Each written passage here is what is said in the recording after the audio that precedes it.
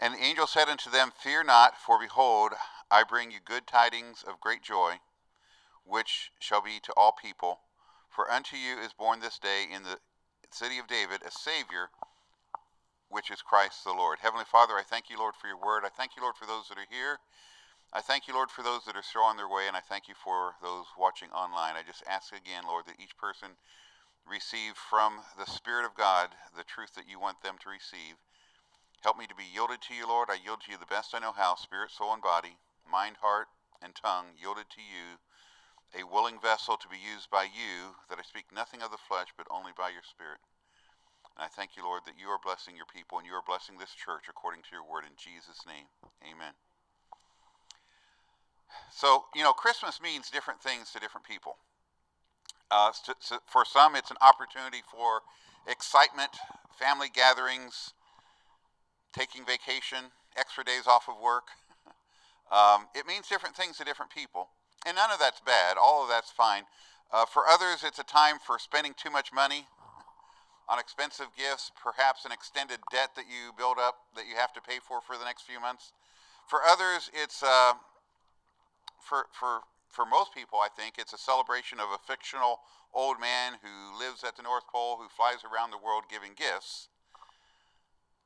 Still, for others, it's a time of sadness, loneliness, and depression. But Christmas is meant to be a celebration of the birth of Jesus. And in every gathering or every opportunity that I get, I try to bring the focus back to that because, you know, you go to family gatherings and other workplace gatherings, school gatherings, or whatever, and it seems like there's a celebration of everything and anything except for Jesus. It's, it's almost like if this is supposed to be the birthday of Jesus that we're celebrating, and I know he wasn't born in December, but that's beside the point. if this is supposed to be the birthday of Jesus, how come there's talk about anything and everything else except Jesus? So uh, I usually try to bring the focus back to Jesus when when we uh, gather in, in any form. But you know we have the Gospels. We have the four Gospels, and all four Gospels, really the whole Bible is about Jesus. You know, when we want to learn more about Jesus, perhaps we go to the Gospels, but really the whole Bible is about Jesus from cover to cover. It's not even just the New Testament. The whole the whole Bible, Old Testament and New Testament, it's all about Jesus from cover to cover. But specifically to talk about the four Gospels, there's Matthew. There, there's four Gospels, and you might wonder, well, why in the world do we need four Gospels? Why do we need to tell the story four times? But each story is told slightly different because they have different purposes, they have different focuses. Matthew wrote to a Jewish audience, and it's, it's discussing fulfilled prophecy, and it's presenting Jesus as the promised Messiah. Mark wrote to the Romans, and he was presenting Jesus as a, a man of power and authority. Luke wrote to the Gentiles, and he was presenting, largely, he was presenting the humanity of Jesus, and he refers to Jesus as the Son of Man. John wrote to the Greek and the Greeks, and he was presenting the kingship and the lordship and the deity of Jesus. But today, and we could take any of the four Gospels to talk about Jesus, but I primarily want to focus on this, the Nativity story as seen in the Gospel of Luke. And in Luke, the first four verses say, For as much as many have taken in hand to set forth in order a declaration of those things which are most surely believed among us, even as they deliver them unto us, which from the beginning were eyewitnesses and ministers of the word, it seemed good to me also, having had perfect understanding of all things from the very first, to write unto thee in order, most excellent Theophilus, that thou mightest know the certainty of those things wherein thou hast been instructed. There's a few things I want you to, to understand about this introduction by Luke. First of all, Luke was a physician. He's mostly known for being a physician, but he was also a missionary, he was a historian, he was an author, and he was a traveling companion of Paul. But I think there's a lot more to Luke than what we know. because the way he writes, this is personal opinion. I think that he was involved in a greater capacity in I don't know to what capacity, but he was involved in some capacity with Christianity long before he met Paul. You know, when he met up with Paul, he became a traveling companion of Paul, but but I think he was involved in Christianity long before he met up with Paul. Um, but he reveals that this writing is a letter, and he presents the reason for the letter. Luke is writing, uh, he, he is writing the most historical account of Jesus. It's the longest of the four Gospels, and he gives more details. He especially gives more details about Mary. I've noticed that he, the, the detail that he gives about Mary, I think is significant. I think that he must have known Mary to some capacity and, and gotten a lot of his information directly from Mary. Because he not only tells what Mary did, he tells what she was thinking. you know, she, you know, it says things like she treasured these things in her heart and things like that. It says that at least twice that I'm aware of. She treasured these things in her heart. In other words, she continued to meditate on these things. How does he know? of course, we would say he knows by the Holy Spirit, but I think that he must have gotten a lot of firsthand information directly from Mary because he does give more detail about her, I think, than the other Gospels do. But one thing Luke says in this introduction is that he's setting things in order. In other words, I believe that this is in chronological order. Probably, if there's a contradiction in the chronology between this gospel or any other gospel, this one probably is more chronologically accurate, I'm assuming. And he states that there have been many eyewitnesses that had already written about these things. And even though many eyewitnesses had already written about these things, he felt that he needed to write something and what does he say here? He says, I had perfect understanding from the very first. Well, what is it that gives Luke perfect understanding, as he says, from the very first? Okay, see that in verse 3. He had perfect understanding from the very first. What was it that gave Luke perfect understanding from the very first? I don't know for sure because the Bible doesn't say, and anything that we say that's not in the Bible is purely speculation. But of the thousands upon thousands of followers of Jesus during his, his ministry years, we know that Luke was not one of the original 12 of the inner circle. But is it possible that he might have been among the larger crowd of followers? You know, there was thousands of people that came to hear Jesus' sermons. Perhaps Luke was in some of those crowds. There's in Luke 10, well, actually, in Luke 9, he sends out the 12 apostles and, and uh, has them perform miracles and healing. And then in, in Luke 10, he sends out the 70. Is it possible that Luke was among the 70? I think that's only mentioned in Luke, where he sends out the 70. And I could be wrong. That might be mentioned in Matthew too, but I'm thinking it's only mentioned in Luke, where he sends out the 70, and perhaps Luke was among those 70. I don't know. But anyway, it's written to a man by the name of Theophilus. Uh, Theophilus comes from two words theos, meaning God, and basically phileo, which means love. So Theophilus means lover, it either means lover of God or loved by God. There's debate on whether it means lover of God or loved by God. But either way, if you are a lover of God or if you're loved by God, this is written to you. And then he follows up with Acts as the sequel to Luke, and it's also addressed to Theophilus. But Luke does not really record where Jesus began. Actually, John's gospel does a better job of discussing the very beginning of Jesus because he says, In the beginning was the Word. And the Word was with God, and the Word was God. And by, by that, I basically am telling you that Jesus existed long before his birth. You know, a lot of times we think that Jesus began in the manger in Bethlehem, but he existed long before that. The Bible identifies Jesus as eternally pre existing, as the eternal God, as the Creator. There's numerous pre incarnate appearances of Jesus. He's not known as Jesus in the Old Testament, but he does appear as the Son of God, as the Creator. There's at least three places in the New Testament that identify Jesus as the creator, which we're not going to get into that today, but Jesus is indeed God. He is God of all gods. He is Lord of all lords. He is the creator.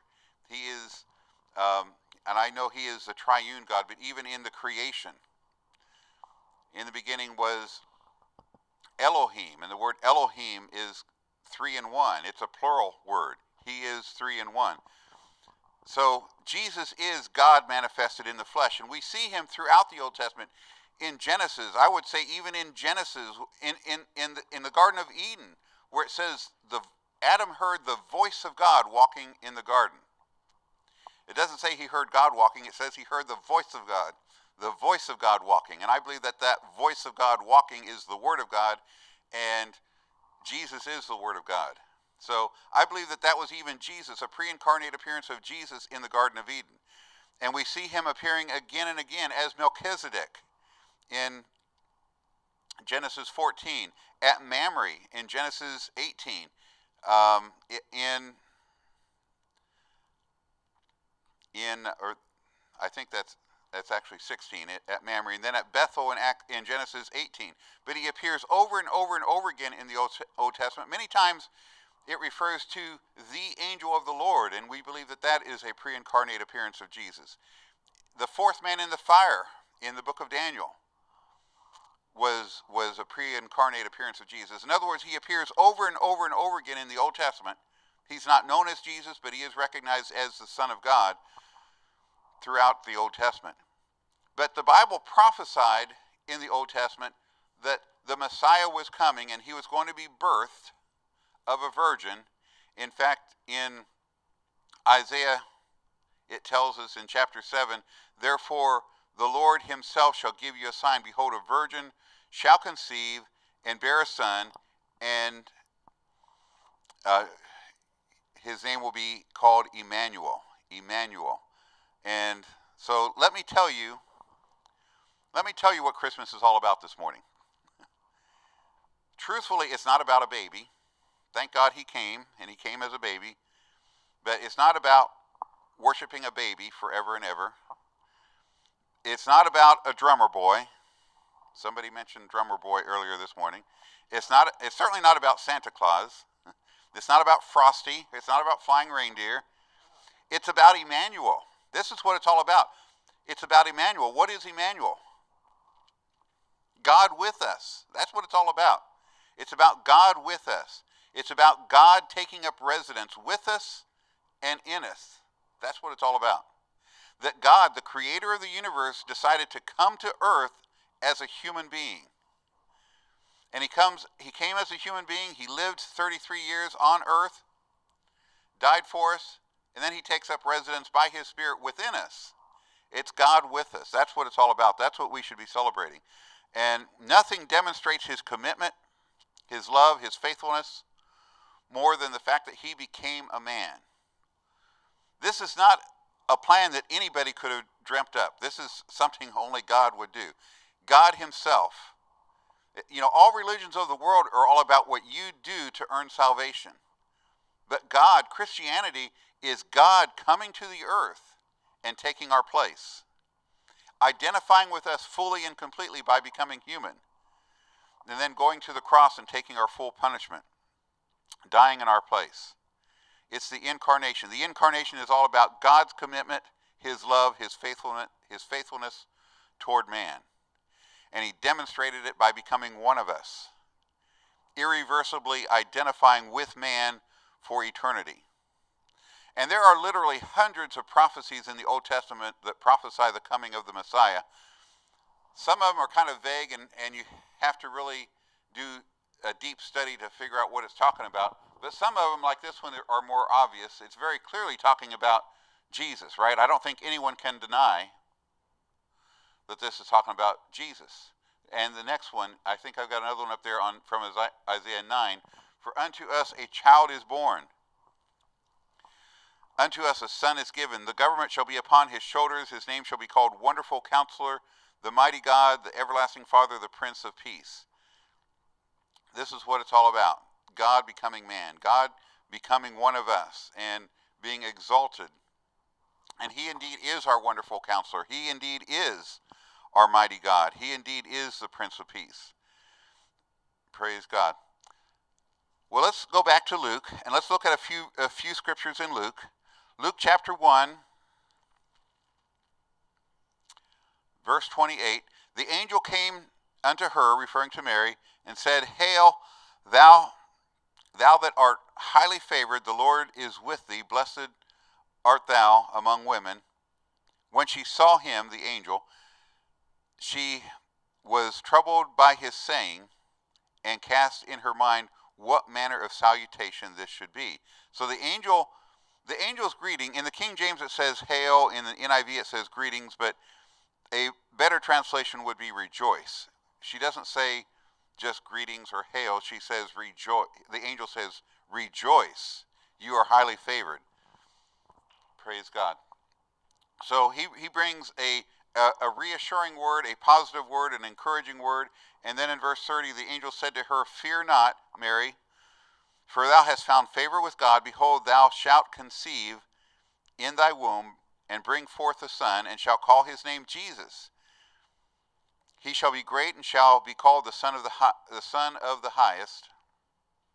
And the Lord shall give unto him the throne of his father David.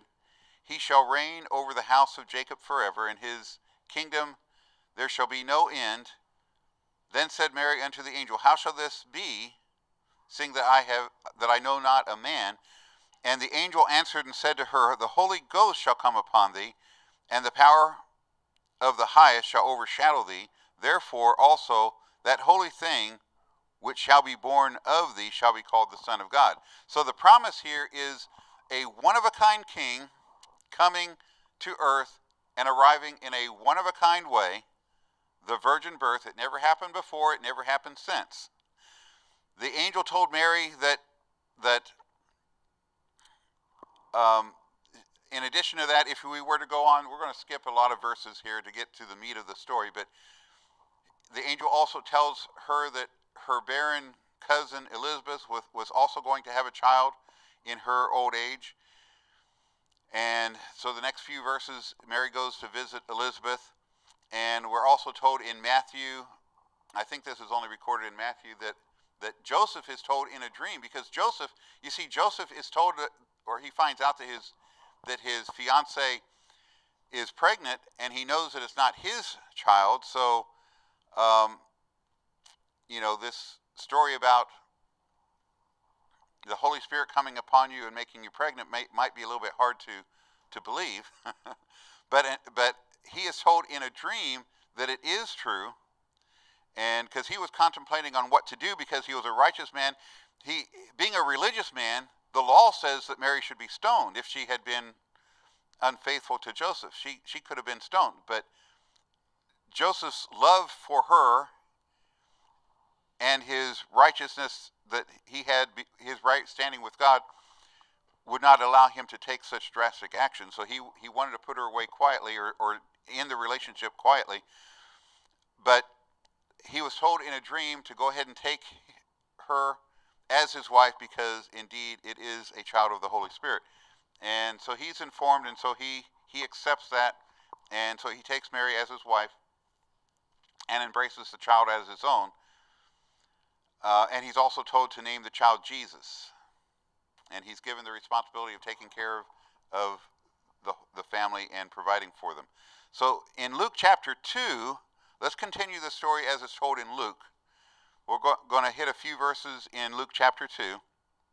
Uh, in verses 4 through 7, Joseph went from Galilee out of the city of Nazareth into Judea unto the city of David, which is called Bethlehem, because he was of the house and lineage of David, to be taxed with Mary, his espoused wife, being great with child. And so it was that when they were there, the days were accomplished that she should be delivered. And she brought forth her firstborn son and wrapped him in swaddling clothes and laid him in a manger because there was no room in the inn. So th- they had to go to Bethlehem because of the census. But I want you to think about a few things here that perhaps you haven't thought about before, or maybe you have. But because there was a census going on, and this is the first time, from my understanding, this was the first time that there was an attempt for a worldwide census, or at least an empire wide census. And so this was a major endeavor that the, that the Roman government was doing. And so if you're of a certain lineage, you had to go to Bethlehem. And don't you know, it wasn't just Joseph and Mary on their way to Bethlehem, but there was probably hundreds, if not thousands, of people going to Bethlehem, this small town, which is probably a very small town, perhaps only one inn, perhaps only one what we would call a motel. But there were thousands, probably thousands of people invading this small town. And if there was no place, no room available for Joseph and Mary, don't you think that there's probably no room for hundreds or thousands of other people? So I'm thinking they found this stable, or they were told about this stable. Some people say it was just a cave, but whatever it was, they found this place where they could spend the night. But I kind of speculate they may not have been the only people in that stable because there's no room for a lot of other people probably also. So that there may have been the nativity scene as we see it is probably very inaccurate in many ways. First of all, the three wise men came along much later. They were not at the, the, the stable. But, and we don't even know that it was three wise men. It was wise men. It doesn't say there were three. It mentions three gifts, but it doesn't say there were three wise men. But, but they, they arrive in this stable, and perhaps there are other people already staying there because there was no motel room available for them either. So they probably didn't even have a private setting just for themselves. They probably had to share the stable. I'm, and again, I'm just speculating, but if you really think about the fact that there were probably thousands of people in town with no room to stay in, uh, many of them probably had family members they could stay with, but many probably did not. So that stable could have been quite crowded. And but another thing I noticed here is that it mentions that that uh, she gave birth to her firstborn son. Her firstborn son. I think that's significant because there are some groups, or at least one particular group, that believes that Mary remained a virgin for her entire life. But this mentions that this is her firstborn son, which implies that she had other children. And we know from other scripture that she had at least 600, six other children, because it mentions four brothers by name and it mentions sisters plural. So there were at least six other children. Mary had at least seven children. But this was her first child, and um, it meant, so this is the birth of the king. There, there is much discussion and debate and disagreement on the date of Jesus' birth. I think most Protestants, at least, universally agree Jesus probably was not born in December.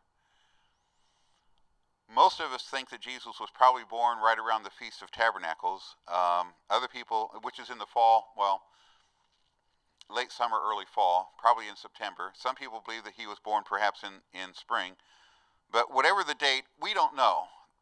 And so if we want to randomly, somewhere in history, and you can I'm not going to get into the story of how it became December 25th. Let's just say history made the birthday of Jesus December 25th. And so it's not worth debating what the date of Jesus' birth is, as far as I'm concerned. If we chose this day to celebrate his birth, then praise God, let's just celebrate his birth. In fact, we have a birthday cake for Jesus over here for after the service because it is a birthday and we should celebrate. Another thing is when we celebrate somebody's birthday, we don't just reminisce about the day they were born, right? When we celebrate somebody's birthday, we celebrate them. We celebrate their life and what they've accomplished perhaps. But but it's not I don't think celebrating the Lord's birthday has to be remembering the birth of Jesus all the time, but um, it's good to talk about his birth. A lot of miracles took place surrounding his birth, but it's all about celebrating Jesus himself. Praise God. The way you listen to some of these Christmas songs is uh, you almost get the impression that Jesus is still a baby in the manger, but that's, you know, it's, it's a miracle that took place, and we rejoice in that miracle that took place. Praise God. But Jesus was, was uh, Jesus was born probably around the Feast of Tabernacles. But if we chose December 25th to celebrate it, that's fine. But the, the important thing is that God became a man.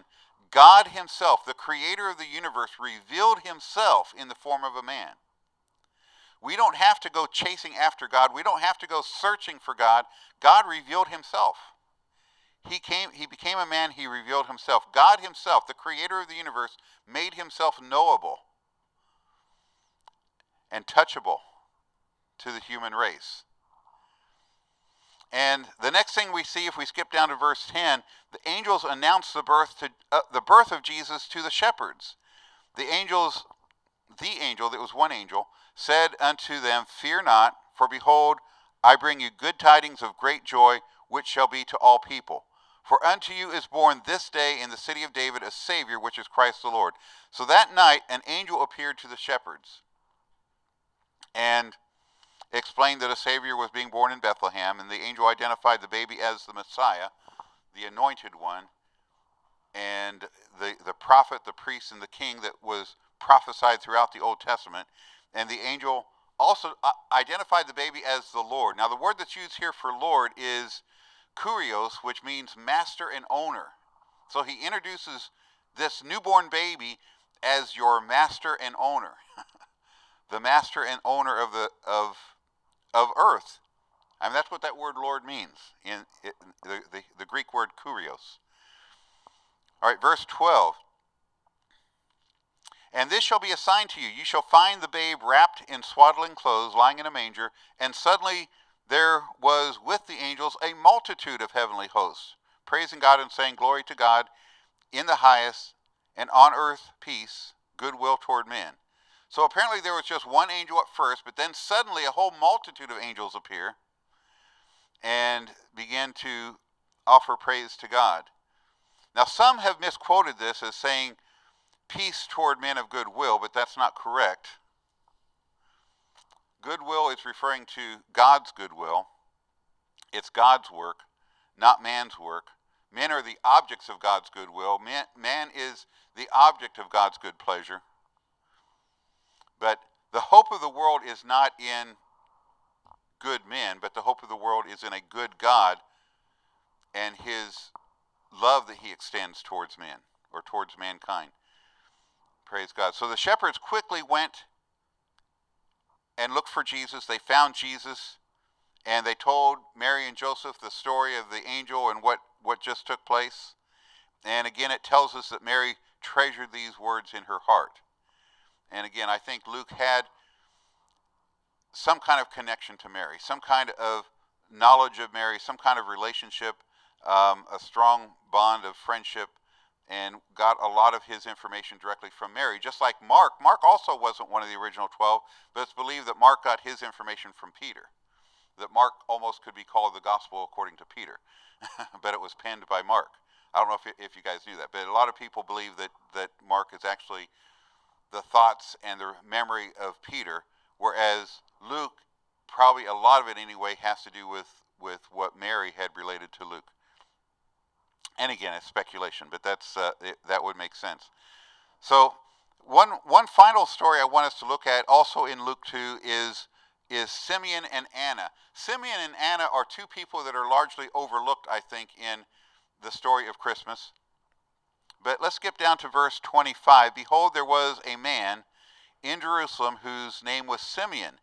The same man was just and devout, waiting for the consolation of Israel, and the Holy Ghost was upon him. Now, first of all, this, this was taking place the 40th day after Jesus was born. And the law required a dedication, uh, a dedication ritual on the 40th day of the firstborn. If you, if you were to study back in the book of Exodus, the firstborn son had to be dedicated to the Lord for, for his purposes. And so they took the child to the temple to dedicate this firstborn son to God. And Simeon, this old man, appears. Now, the word Simeon means hears and obeys. And this is a man that truly heard God and he obeyed God. And he, it tells us that he was just, he was devout, and he was expectant, expect, expectantly waiting for the Messiah to appear. And it goes on in verse 26 and it was revealed to him and to Simeon by the Holy Ghost that he should not see death before that he had seen the Lord's Christ. and he came by the Spirit to the temple. And when the parents brought the child Jesus to do for him after the custom of the law. Now, let me stop here and, and mention that in these three verses 20, 25, 26, and 27 the Holy Spirit is mentioned three times. The Holy Spirit was upon this guy.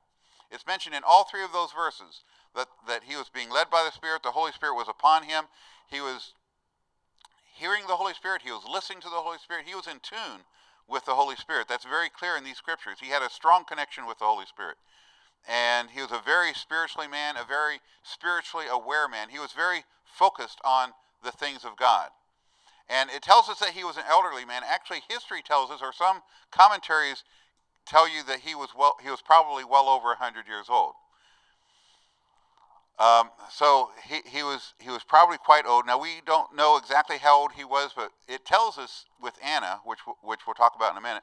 It tells us that she was 84. It tells right in the in the text that she was 84, and it's believed that Simeon was probably much older than that. But he was listening to the Spirit. He was in tune with the Spirit, and three times the Holy Spirit is mentioned to let us know that the Holy Spirit didn't come around just on the day of Pentecost.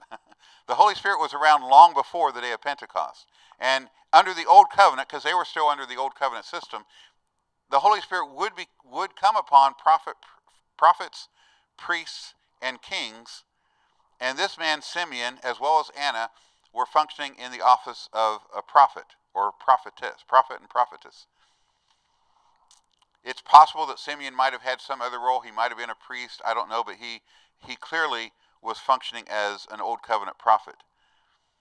And in verse 28, then took he, Simeon, him, Jesus, up in his arms and blessed God and said, Lord, now lettest thou thy servant depart in peace according to thy word, for mine eyes have seen thy salvation, which thou hast prepared before the face of all people.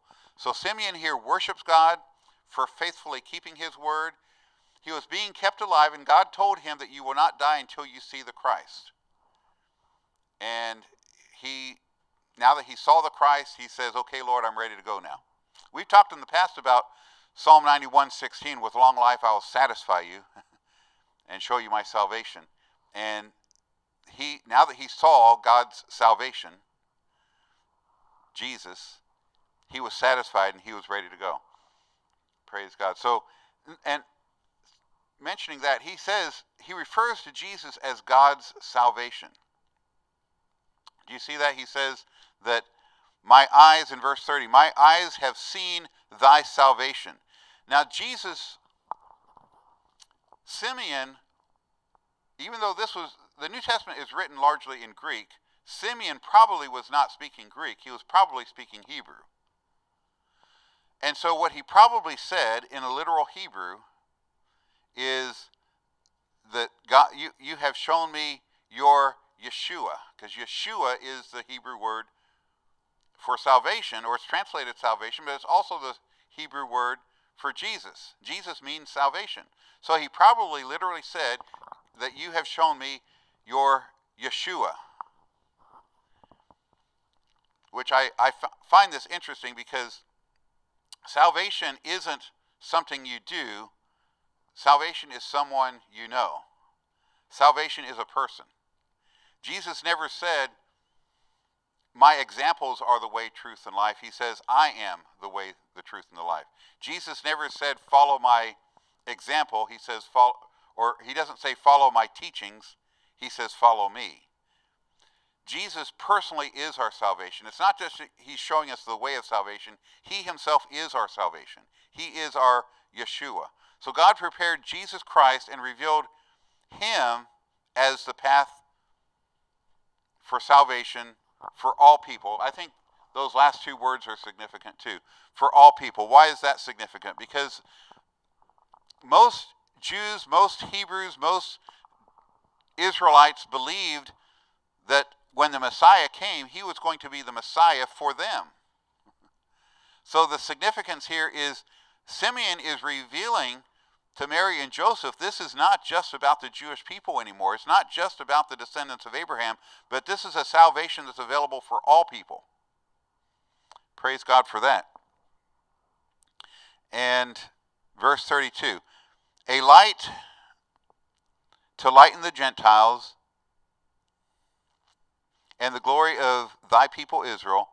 And Joseph and Mary, Joseph and his mother marveled at those things which were spoken of him. And Simeon blessed them and said to Mary, his mother, Behold, this child is set forth, or set for the fall and rising again of Israel, and for a sign which shall be spoken against.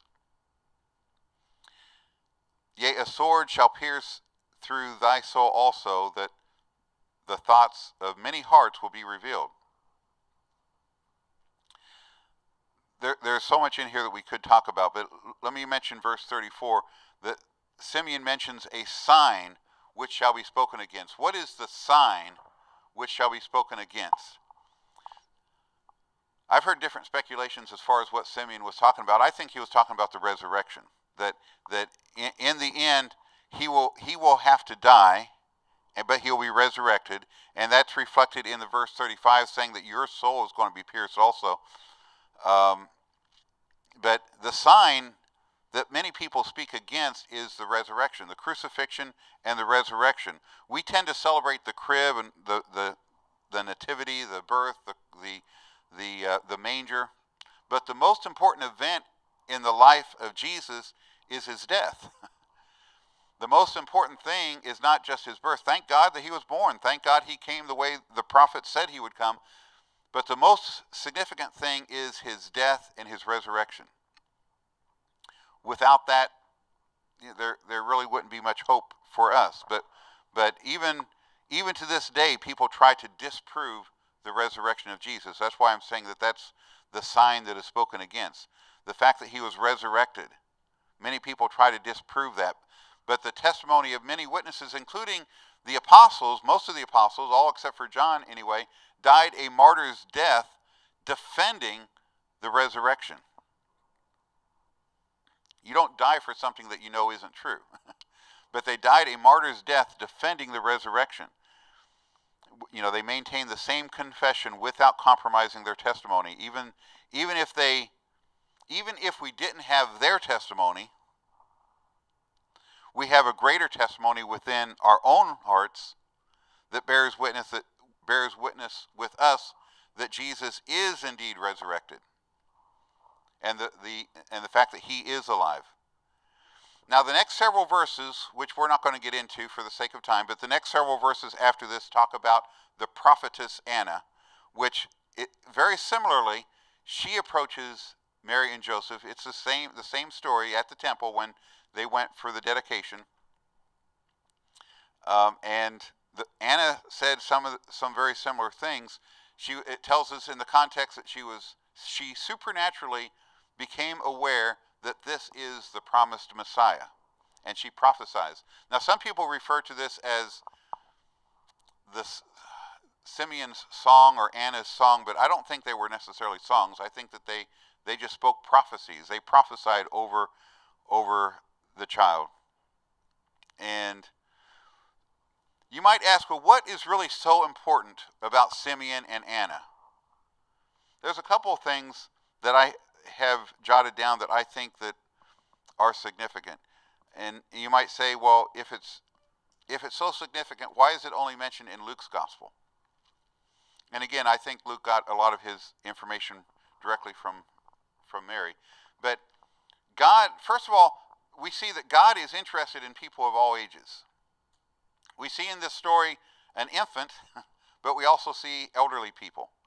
And God is interested in you no matter where you are in life. God is interested in you, uh, no matter how young you are or how old you are. But they both also dedicated their long lives to serving God.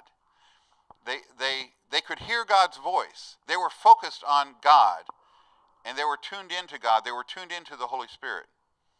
Both of these people lived long lives, and they lived long lives dedicated to God. It tells us about Anna that she was a widow ever since she was in her 20s. So, and she dedicated her life ever since then to service in the temple. So 50, maybe 60 years serving in the temple, serving God, tuning into God, spending a lot of time in prayer, I'm sure. And we also see that they both they both are said to have the Holy Spirit. They both ministered prophetically. They both worshiped God. And this also tells me what we call the silent years. You know, after Malachi and the beginning of Matthew, there's about 400 years, and this is referred to by many people as the silent years. I kind of suspect the silent years really weren't all that silent. because I think the Holy Spirit is always speaking, we're just not always listening. You know, just because there's no book written doesn't mean the Holy Spirit wasn't speaking. I think God has always had his prophets, he has always had people that would tune into him. And we see these these elderly people, Simeon and Anna, clearly in tune with the Holy Spirit. So just because people say those years were the silent years, they say, well, God wasn't speaking during those 400 years. Yeah, I believe God was speaking. I believe he was always speaking. It's just that those, whatever God was saying wasn't being written down. It wasn't being documented. And, but, but he always had his prophets. And God is still speaking. And he's speaking to you if you'll listen to him. There's just a need for us to tune in to what the Holy Spirit is saying. But God always has someone that he can speak to and speak through. So let's, uh, let's begin to bring this to a close. And I want to um, just re-emphasize that it's all about celebrating Jesus. Keep Christ in Christmas. Whatever you do, you know, uh, as you go home and spend time with your family or where, whatever you tend to do for the rest of the day, keep it focused on Jesus as much as you can. It's not about the parties. It's not even really um, you know, thank God for family, but keep it focused on Jesus as much as possible. It's all about Emmanuel. It's all about God with us. The fact that he came to the earth, he, he like I said earlier, he, he made God knowable. He made God touchable. He came by his Holy Spirit to reside within us. He is Emmanuel. God taking up residence with us and in us. And I think I have uh, another scripture in Philippians that should be on the screen. And we'll close with this and then we're going to get into communion. Having this mind among yourselves, which is yours in Christ Jesus, who, though he was in the form of God, did not count equality with God a thing to be grasped, but emptied himself by taking on the form of a servant being born in the likeness of men. Okay, so he came he made himself nothing, taking on the form of a servant.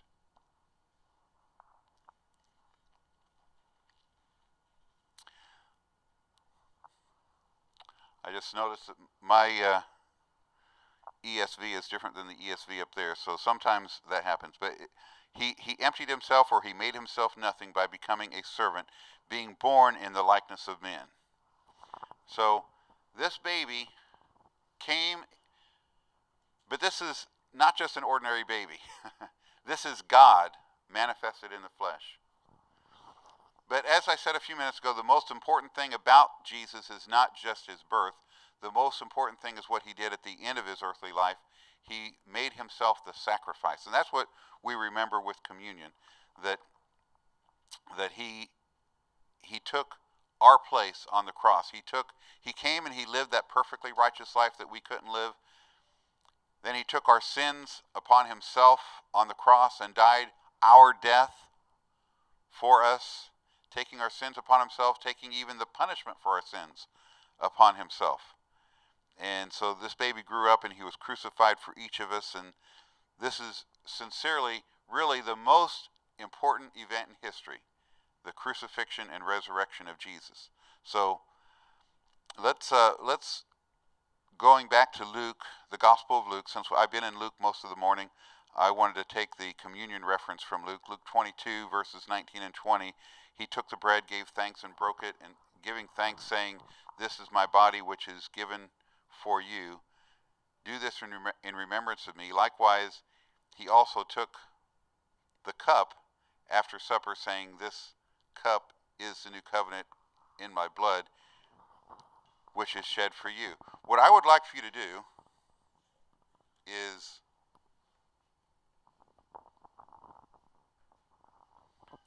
why don't you just come up and take, whoops, take the bread.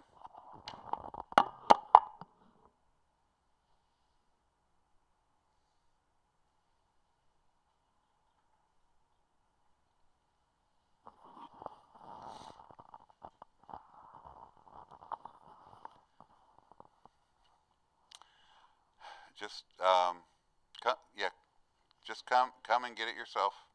We don't we don't have an usher this morning. Be your be your own usher.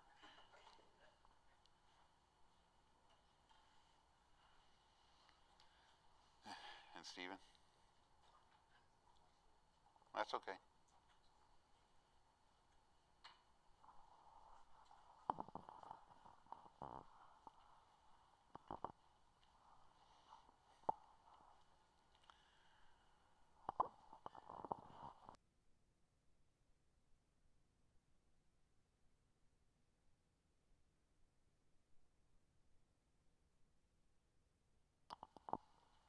Heavenly Father, we just thank you for the fact that you did come into the earth as Emmanuel, as God with us. And thank you, Lord, that it, it's, it, it's such a significant truth that we, I'm sure we, we don't fully grasp in our own heart, we don't grasp it in our own mind, the significance of God taking on flesh.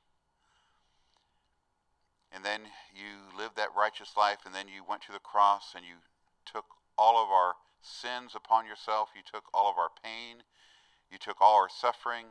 You took the, the results of the curse upon yourself. You took the full curse upon yourself and the full punishment for any sins that we've ever committed upon yourself. And right now, Lord, I just ask you, Lord, that each person here receive a special blessing from you this morning. Whatever it is that they need, that they'll receive it. They'll, re- they'll receive the answer to their prayer this morning as we partake of communion. And I would like for you to, whatever it is that you need this morning from the Lord, that was clearly in Scripture provided through the cross, through the redemptive work of the cross, just receive it by faith. You know, the Scripture says, by his stripes you were healed. And he took the crown of thorns on his head. To me, that means he took mental redemption for you also. If there's, you know, if you if you're having trouble with memory or any mental issue, he took the crown of thorns which pierced his skull, you know, for for your brain, for your memory, for your mind. He took the the nails in his hands which symbolize the works of your hands. So you everything you set your hands to should prosper because of the nails that went through his hands. And he put he took nails in his feet, which symbolize your path in life. So he wants to give you clear direction. You might think that life is kind of uncertain. You don't know you don't know what direction to, to take. But he wants to provide divine guidance. The scripture says he'll lead you in a plain path. Claim those scriptures based upon what he did on the cross. And the spear that went through his side for spiritual wholeness if you need the Holy Spirit baptism this morning, if you don't have the Holy Spirit baptism, you need the Holy Spirit baptism. so you can receive that this morning. So, so I'll read um, verse 19 again, and then then you can partake. He took the bread, gave thanks, broke it, and gave it to them, saying, "This is my body, which is broken for you. Do this in remembrance of me." Go ahead and partake.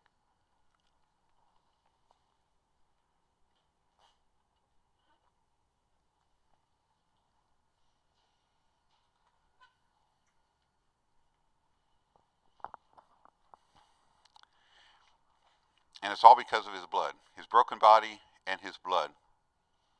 His blood makes you righteous. And it's because of the righteousness. See, you should never have the attitude, I'm a sinner saved by grace. No, you're no longer a sinner. You are the righteousness of God. He has imputed into you the very righteousness of Jesus. So you're no longer a sinner saved by grace. You are righteous because of his blood Claim that. And because you are I know this this sounds the, the first time I heard this it sounded like blasphemy. So but you are just as righteous as Jesus. because he imputed his righteousness in you. So God no longer looks at your sin. He no longer sees your sin. He sees you as righteous. He sees when he looks at you, he sees the very righteousness of Jesus. And if you really understand that, if you really see that, if you really believe that, that should give you a boldness in your prayer life. That God doesn't, He has no remembrance of your sin. How can an all knowing God have no remembrance of your sin? I don't know, but He chooses not to remember your sin. So you can go, go, go boldly before the throne of God, knowing that God sees you as righteous, not just forgiven, because if you were just forgiven, God still might have a remembrance of your sin. So he, do, he goes far beyond forgiving you. He makes you righteous. You are righteous. So have that in mind as you partake. Likewise, he took the cup after supper, saying, This cup is the new covenant in my blood, which is shed for you. Go ahead and drink. Thank you, Lord, for your blood. Thank you, Lord, for the gift of righteousness. Thank you, Lord, for cleansing us. Not just forgiving us, but fully and completely cleansing us and making us righteous. We give you the praise and the thanksgiving. Thank you, Lord, for ministering to each person here. Thank you, Lord, for answering their prayers and meeting their needs. We give you the praise and the thanksgiving in Jesus' name. Amen. Praise the Lord.